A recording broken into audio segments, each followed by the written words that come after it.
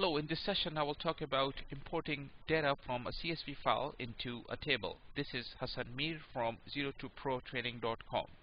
So we'll be importing data into the table student underscore course from a CSV file that we have created and uploaded to a machine that is visible from SAP HANA database and now we will issue import command from SAP HANA Studio that will be run against the HANA database and data from the CSV file should be imported into the table.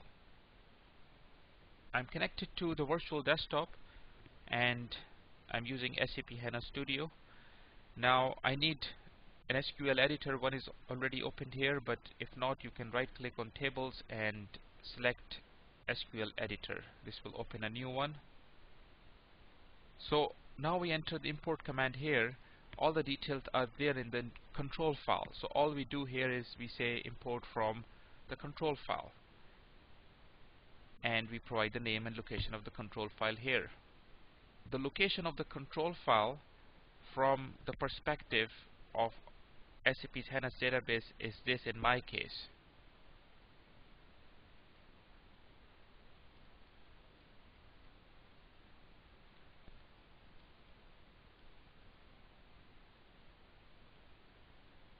if you are using your own setup then your location would be different. But if you're using the same SAP's setup then you will have a similar location here. But the folder name will be different than Hassan Mir SAP this is my folder and you would have your own folder here. So so we have slash here slash dropbox slash the folder personal folder slash the control file. In our case, the control file is student underscore course.ctl and all this is in single quotes and we have a semicolon at the end. So let me run this command by pressing this green execute button.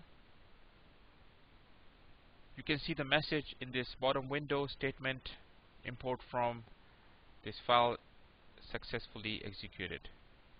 So if I right click on student underscore course table and choose open content I should be able to see the data that I entered in the spreadsheet